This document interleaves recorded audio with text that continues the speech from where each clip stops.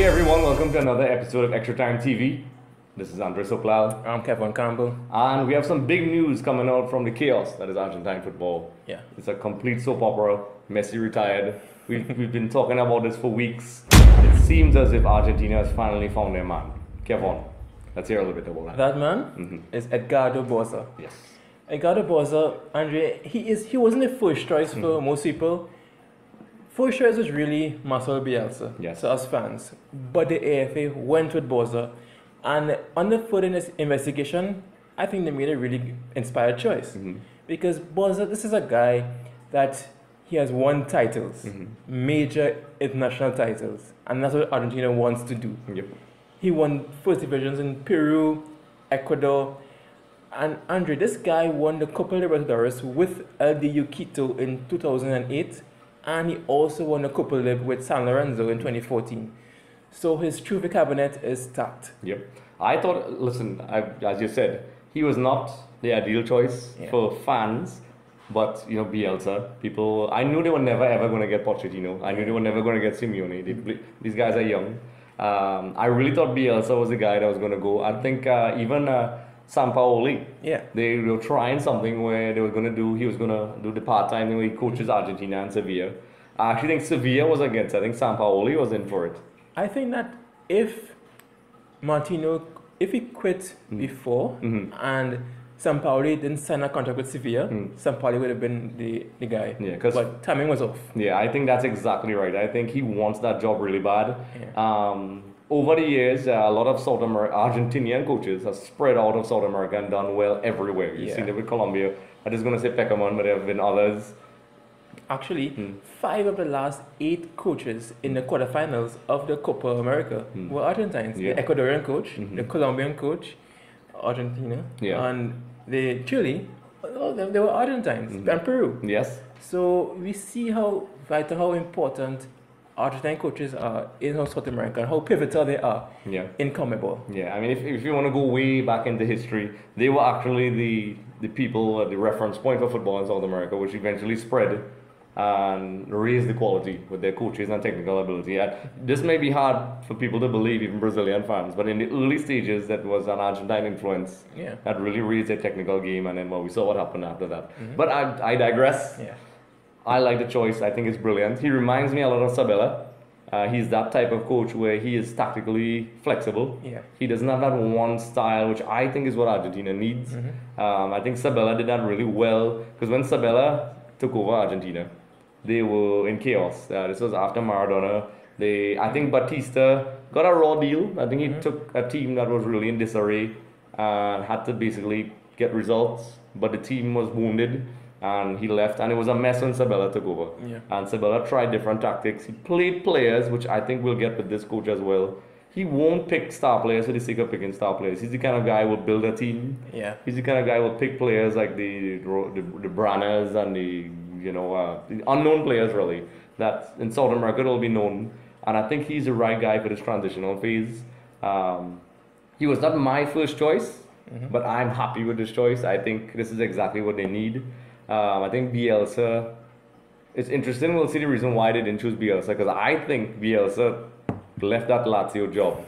so we'll see how that turns out because now he's unemployed, did not get the Argentina job, and maybe this is me just speculating and drifting off a little bit that he's probably going for that technical director role that was once held by Jose Pekerman. Yeah. So uh, let's see how it goes. Yeah, um, El Loco Bielsa is mm, no, that's not going to be manager. But um, El Patón, Mm-hmm. Bigfoot, is now the manager. Yes. Bauza, and remember Bauza, he's a really pragmatic coach. Mm-hmm. And what I liked is one of the first questions posed to him at a press conference was the Messi situation. Yes. And about Messi, what he said is that he's going to talk to Messi Mm-hmm. and just talk football with Messi. And he's going to bring it back to what's really important, which is on the pitch and football Yeah. and leave the externalities out of the, the scene for now. Mm-hmm. Um, but but Bauza, he also was part of the Argentine squad that, made it to second place in the World Cup in 1990 with Maradona. Yes. So he's a guy, he's well respected all throughout the region. And going forward, you have the World Cup in two years' time. I think he's going to get to the World Cup and be the coach at the World Cup. And it's well deserved because this guy, he took the chance he went to some smaller teams Mhm. in South America, and he was really successful. He didn't just stay in Argentina; he expanded, and that's how you really grow as a coach. So kudos to um, Edgardo Bauza. Um, you know, on to other news, another international uh, update. Yeah. Belgium has appointed a new guy, none other than Martinez himself. I think it's interesting. Hmm. I should be very specific about which Martinez. You know, it's Roberto Martinez. Yeah. Um, I remember when I saw the news, I was like, I had to look twice. I was like, is it really that guy?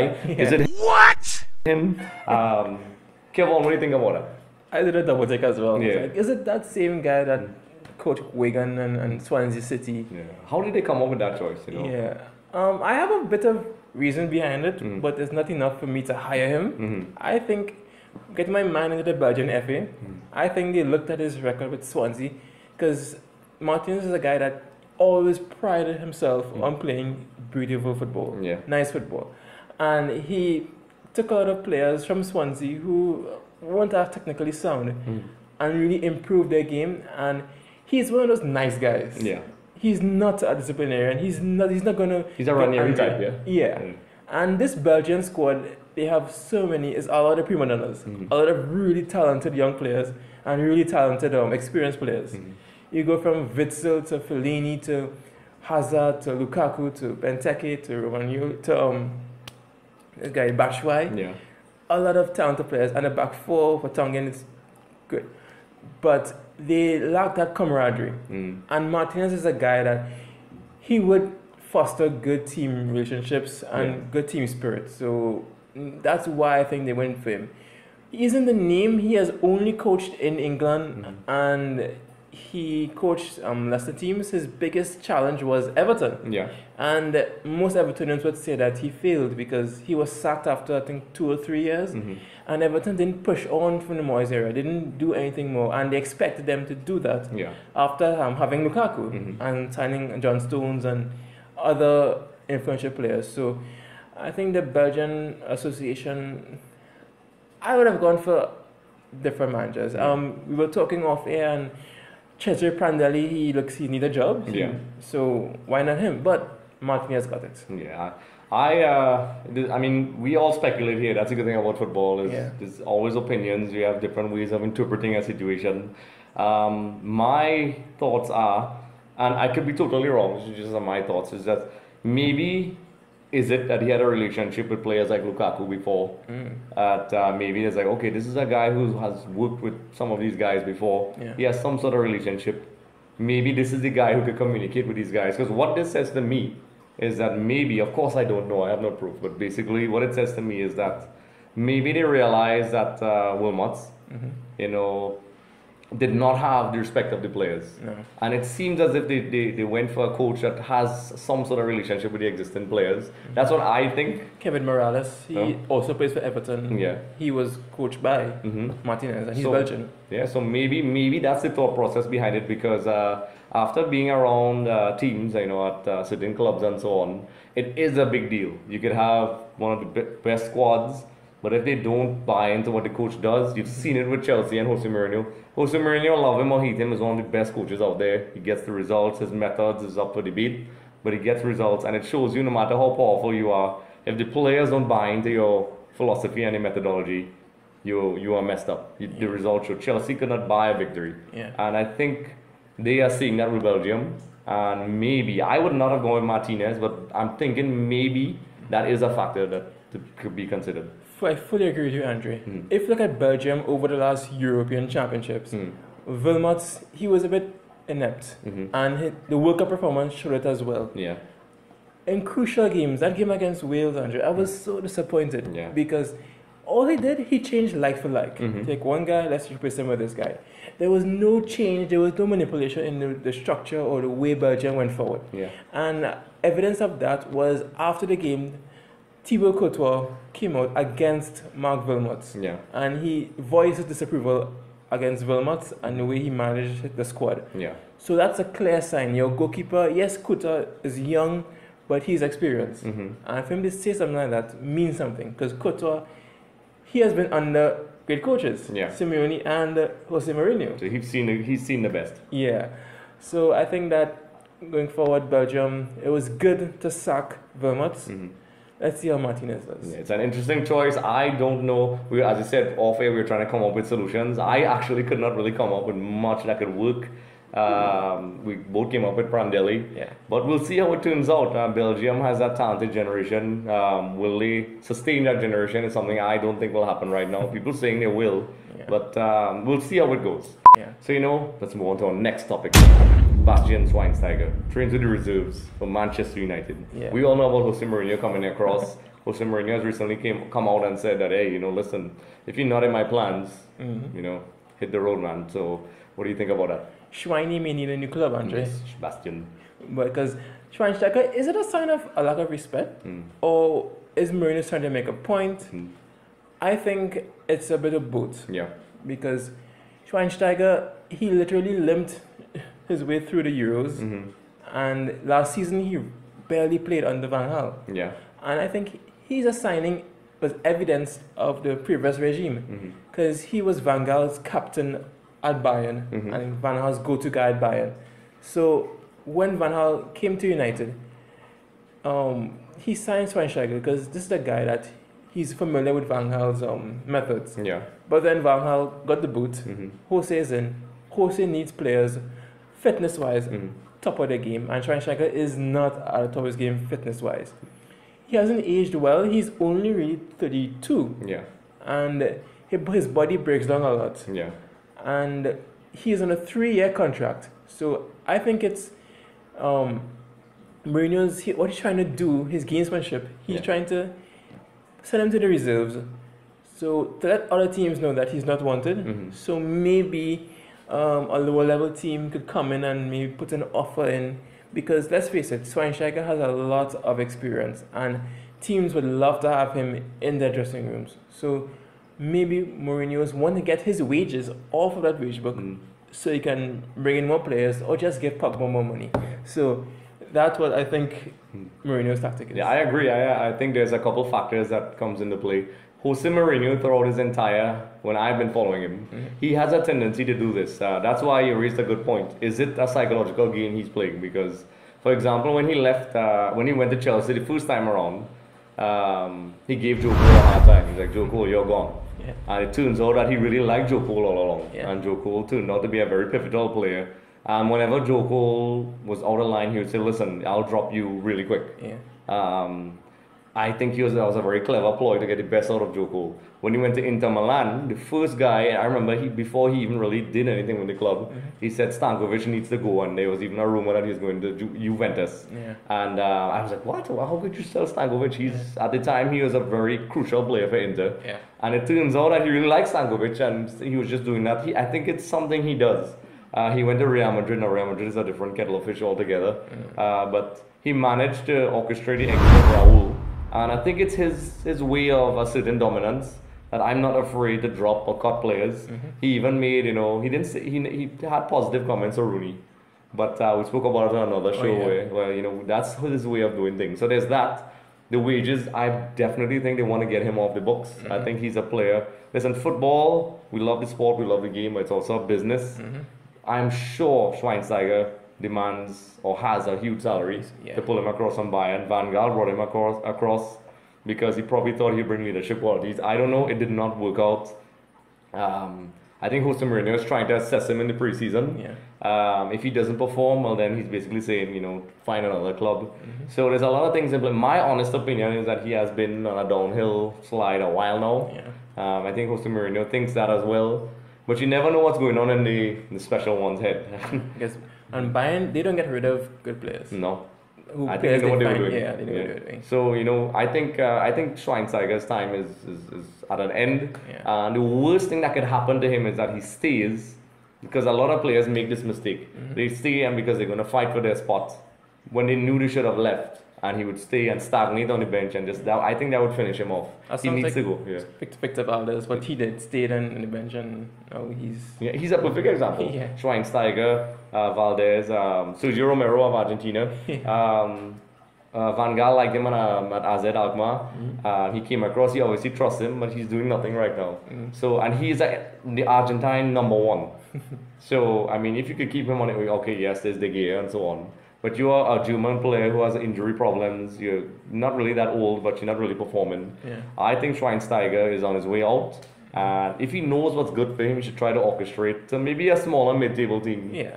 But even back in Germany or something. But Mm-hmm. um, he, he needs to figure out what he's doing with himself right now. Or come over to MLS. Mm. Always welcome there. Oh yeah, Central FC. Oh yeah. Ba- Bastian. All W connection. Ba- Bastian, you know. Join Kenwin Jones. Let's see, do something. Yeah. Big players coming to Trinidad. Yeah. Up next. Yeah. Speaking of transfers. Yeah. Let's switch focus. Mhm. We go from Manchester to London. Yes. Chelsea, Romelu Lukaku.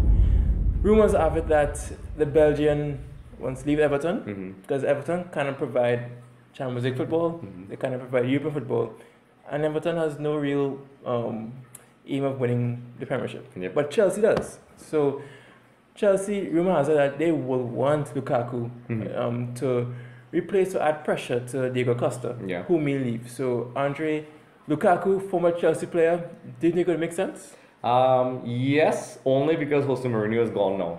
um, I don't know if he's an Antonio Conte type player, Yeah. but Antonio Conte is the type of guy who would make it work. Mhm. But I, I just don't see him. I think it's good for him to go to a club like that. Mhm. But I can't help but feel this is in your face to his former coach, Jose Yeah. Mourinho. He had very choice words for Jose Mourinho. Mhm. Jose Mourinho had choice words for him. Uh, Jose Mourinho won the league, so he was a bit arrogant when he came back the second Yeah. time. But then we saw what happened with Jose. And I think the exit of Jose Mourinho is paving the way for him to come back. He's like, I'm going to come to Chelsea and I'm going to prove that I could play because you said I couldn't. And I think that's exactly what it is. Of course, we could never verify this. We don't know what's going on in Lukaku's head. Yeah. What's going on in Lukaku's head? Um, Mino Raiola, 'cause he is actually Lukaku's there's agent. that name again. Yeah. That guy.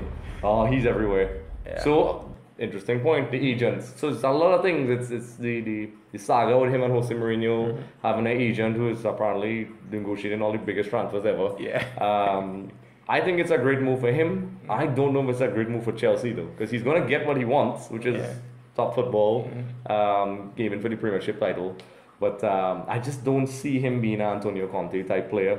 But um, you know that agent gets things done, man. So Yeah. we'll see. Um, with Chelsea, remember their strikers, they have Diego Costa and um, Batshuayi. hmm But Conte likes to play two up front. hmm So rotation could come and could, could be a factor. Yep. So Lukaku could play. Um, yes, he remember Chelsea plays on the counter Mhm. traditionally, hmm and that's why Lukaku is actually good. Yeah. His first touch is not good at all. No. Um, but he's powerful. He's quick. He's a good shot on him, and um, he could do well. Um, I was going to say if Conte could get the best out of Graziano Pellè Mhm. and get Italy to the quarterfinals, then Lukaku he can probably mold into something. And he's pretty young. For, Yeah. He's experienced, but he's young. He's 23, 24, and that's um, for the games he has played, the clubs and the, the environments he has been in. That's really good for that age. So maybe he can still be molded and changed a bit, Mhm. but Conte has to have a lot of work to do. Yeah, I think uh, he's very much in the mold of. Uh, he's not the same player, so before people kill me online, Yeah. but it's similar to Morata when he came to Juventus. Oh, yeah. He's not quite there at the world class level in my Yeah, eyes. yeah. He's just a little bit under. I don't think he's world class. You know, just banging goals in the net all the time. I think he needs a lot of things to work. Yeah, yeah. And if there's one guy who could milk that talent out of him, is Antonio Conte, as you said, for the same point Kevon just made. So um, it's an interesting move. I think it actually might happen, or it is going to happen. So let's see how that turns out. Um, we usually answer a lot of questions Mhm. from our camera person. So let's hear a couple. So, guys, apparently, the World Players Union, FIFPro, has said that Jose Mourinho should be sent to prison for his Jose Mourinho treatment of Mr. Schweinsteiger. I think he should be, being all pro union and everything. What do you all think? Uh, uh, Jose, mm, he wouldn't care. Yeah, Jose doesn't give a crap. Yeah. Jose will just be like, eh, yeah.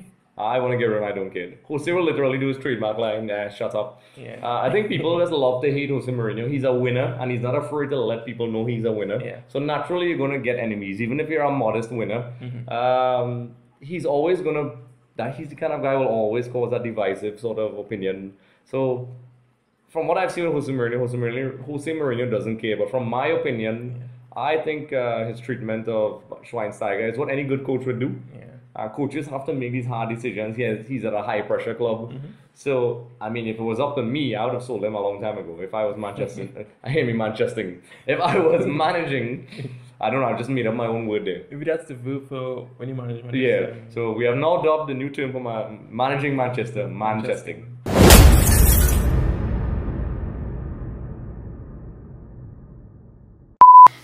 On the back page of the Oxford Dictionary. You know those blank pages that they leave? Yeah, Andre's crayon. Dictionary. Yeah. Yes, in the dictionary that's not approved by anyone. It'll be in Webster's, but Yes. uh, not Oxford yet. Hmm, Webster Lal thing.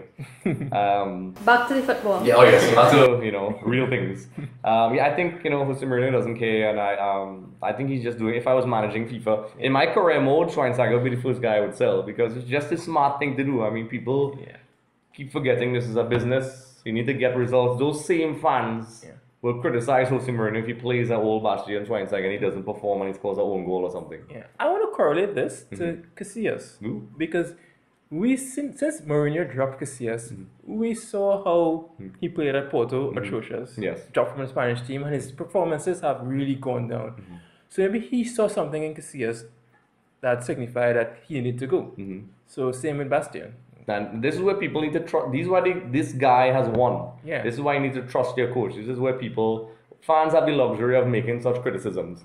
Oh, he's a coach. He should have played this guy. He should have played that guy. Yeah. Um, I was one of the few defenders of Jose Mourinho. I always had doubts. I liked him at Porto when he won, when he knocked out Lazio, a very good Lazio.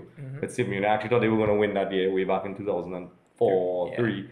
Um, then he went to Chelsea. And then when he went to Inter Milan is when I really saw Jose Mourinho really, really, really knows his stuff. I was mm-hmm. always a fan. And then when he made his move to drop Casillas, I told people, listen, Jose Mourinho knows what he's doing. Mm-hmm. Of course, the Real Madrid fans, and he was like, no, Casillas is a legend. Yeah. But that's what that's what that's why you hire Jose Mourinho. Jose Yeah. Mourinho is that guy who will make that hard decision and say, mm-hmm. listen, you're not pulling your weight, you need to go. Yeah. Ferguson used to do it, and they praised him for it. Yeah. Some- well, most he, people. Big time Fergie used to do that. Yeah, so I think he should have been the first guy to go to Manchester United instead of David Moyes. In terms of to answer the original question, I think he's just doing what a coach does. Yeah. So fans get over it. Yeah. All right, no problem. Um, so apparently, Andre Icardi has tweeted that he has no intentions of moving from Inter Milan. Scoff. Hmm. Uh, Icardi. Uh, Kevon, you know, well, I'm an Inter Milan fan. Everybody knows that. Yeah. Uh, Really? Ic- yeah. We weren't sure. Yeah. I just get free Inter Milan jerseys. I just like uh, the sponsors, actually. Um, Icardi is a guy, we spoke about Jose Mourinho being divisive. He's another guy. If you're an Argentinian and more so an Inter Milan fan, he's not loved by the Argentine public because of the situation with him and Wanda, the soap opera. Yeah. Uh, for those of you who don't know, I can't believe we've been talking about this. Uh, Maxi Lopez, Yeah. Ex-wife, is now with Icardi. Yeah. So you could see there's a little bit of friction, and they used to all hang together in the same club. Yeah, we used to come home and have dinner. Um, we used to invite Icardi home for dinner and then French and their toys, why not? Yeah, well, I don't know. I don't know how to do it. more like stab in the back. Yeah. yeah, let's play the stab in the back game. Yeah. And was definitely the players of Argentina at least. Yeah. Um, even the coaches. He was not picked because you know they made us. Martino never picked him. Mm-hmm. We all know he will never see it in the press. But those who follow Mundo, Albiceleste, and so on with Si- Steven John and those guys, that's that's a known fact that he does not like players like that Yeah. because of what they represent. And it shows that your off-field antics, young players take note. Yeah. You know, conduct yourself in a certain manner because it's hurting Icardi's chances with the national team. Yeah. And then for Inter Milan, he would be taking pictures with his wife on Instagram and doing stuff. And then uh, him and Maxi Lopez, I was going to say Rodriguez, Maxi Lopez, Yeah. they would have goals at each other on the field. And No shaking of hands. yeah. And then he, yeah, and then he showed his desire that he wasn't overly committed to Inter. And his Yeah. wife, once again, she comes up, Wanda, Yeah. um, is apparently the one doing the negotiating for him. So Inter Milan fans don't trust him right now. I don't trust him. I think he's a very good player. Mm-hmm. I think he's a top player. I think he's a very top number nine striker. Yeah. But his personality is, I think, to be an Inter Milan captain. Um, I think he has big shoes to fill with Zanetti and guys before him. Yeah. So Bergomi. yeah. So he needs to get it together, or else I think I think Mancini needs to either cash in on him and sell him Mm-hmm. because I think his his goal scoring attributes are great. Yeah. But I think he hurts the team. His conversion ratio is phenomenal. really. Yes. Um, when Icardi is one on the keeper, he usually scores. Mm-hmm. Um, possible options he can go to, usually, well, we thought it would been Napoli for a mm-hmm. while, mm-hmm. but Napoli splashed some cash, mm-hmm. some of the Higuain money, Yeah. and bought Arkadiusz Milik from Ajax for 35 million. So he's not going to go to Naples. So the options are limited. Arsenal, they need a striker, but Andre, is Arsenal going to spend money for a striker? Yeah. So You the, the thing about Icardi is, which is the original question, is you know what we think about him not leaving. Yeah. I think he's the kind of guy. I don't believe that. I think if the right offer comes, Mm-hmm. I think he also knows that Inter. He may not get the treatment somewhere else that he gets at Inter right now. So I think Icardi is playing that game. He's playing a dangerous game. I personally don't like it. Mm-hmm. I think it's he's not going to go anywhere. But I think uh, the Inter president has jacked up his price to I think 60 million euros. I'm not too sure. Yeah. I think if somebody comes to that price. actually 90 million. Oh wow, yeah. I, th- I know it was going up really high. Um, if that price comes, they will sell him. I'm Yeah. sure about it. Will in terms of the replacements, I don't know, but I think they would. They would if they get the right price. They would cash in on a troublemaker like Icardi. Maybe Yeah. go buy a young South American. Yeah. Yeah, There are yeah. plenty. That's my opinion on it. Icardi. Moving on to some Barcelona news. Apparently, there are rumors going around that Man City is eyeing some of Barcelona's goalkeepers. Um, the coach has said that they really have no problem with that happening at all. Do you think that will hurt Barcelona if any of their goalkeepers actually do move to another team, Man City or otherwise? Remember Barcelona, Andre? Hmm. Last for the last two seasons, actually, they've been rotating um, Ter Stegen and Claudio Bravo. Mm-hmm. So they're a club that normally you have one your first choice goalkeeper, mm-hmm. and he's much better than a second choice. Yeah. But they have two really good keepers at their interchange. Mm-hmm. It's really unique. I, I like it because usually Ter Stegen plays all the cup games, mhm. all the Copa del Rey and the Champions League games, and Bravo plays the league games. But it's a position that Ter Stegen, I think Ter Stegen is much younger than Claudio Bravo, mm. and he would want to be on the bench for league games. So they can probably nick Ter Stegen because he mm. has aspirations of replacing Neuer mm. as Germany's number one. And uh, with Man City, though, they have a certain Joe Hart. So Yeah. And they also have a very talented Argentine, uh, Wilfredo Caballero. Yeah. Um, I think he's a top player. I think Pellegrini trusted him when he went across. Just like Romero, I think it was a bad move. I think he should have stayed at Malaga. But I think the money and the prestige. Um, I think it's no big surprise that all of a sudden Pep is at Manchester City, Oh, Pep yeah. Guardiola. So obviously that connection is going to be built. Um, the thing I like about Man- Barcelona is when Pep came in, they always, as you said, the goalkeeper for years was a problem for Barcelona. They had guys like Rüştü Reçber and Bonano and those guys, good keepers. Yeah. It just was not working. And, you know, Valdés was an unlikely guy who came on and worked his way up. Was never the best keeper in the world. Everybody knows that. But they stuck with him and they started the rotation thing with uh, Valdés would play the majority of the games and the Copa del Rey was Pinto. yeah. Um, I'm seeing that uh, Luis Enrique is doing the same thing with Bravo. And uh, why is his name? Stegen. Yes, I always pronounce his name wrong. Apparently, I have some block, with that name. Um, I think it shows how much Barcelona has grown in terms of their development. The fact that they have two keepers. Mm-hmm. Yeah. And I'm sure I think there's a third keeper in the reserves. I can't remember his name right now. That he's on loan somewhere. But um, I think they understand. They have an understanding. Um, I think it will work. I don't think Barcelona will be really too scared. In fact, you know they have to shake up their squad a little bit. Yeah. Um, so I don't think they have a problem. I think it's good business. They have a good relationship with Pep. Pep knows what they have. Yeah. So I think they can come to an understanding that will benefit both clubs mutually. Also, City, they have um, Txiki Begiristain, the Former Barcelona. managing director. So Yeah. there are links there between two clubs. I was going to say that, but he pronounces it better. So. yeah, but that's a very good point. Um, Yeah. That's the kind of guy you want to develop your teams. Man City, when they started to get their money, they brought him in. And I have no doubt that Pep, with also his presence, is definitely, they're going to form a strong relationship. Project. Mhm. Yeah. So that's my opinion. That's all the time we have for questions. Yeah. So this is Andre Sooklal. You can find me. I'm going to switch things up. Normally, Kevon asks me where to find me. I'm going to tell you where to find me. You could find me at Andre Sooklal on Twitter and Instagram. And you can subscribe to my channel at Andres Aymar. Kevon, where can we find you? You can find me at Kev868 on Instagram and Twitter. Mm-hmm. And fans, make sure to like our videos, mm-hmm. comment, and subscribe. Yes, you're not going to find us on that stupid Pokemon app. Mm-hmm. That's where you find us. So Yeah. this is Andre Sooklal, I'm Kevon Campbell. and you're looking at Extra Time TV. yeah. I like Pokemon.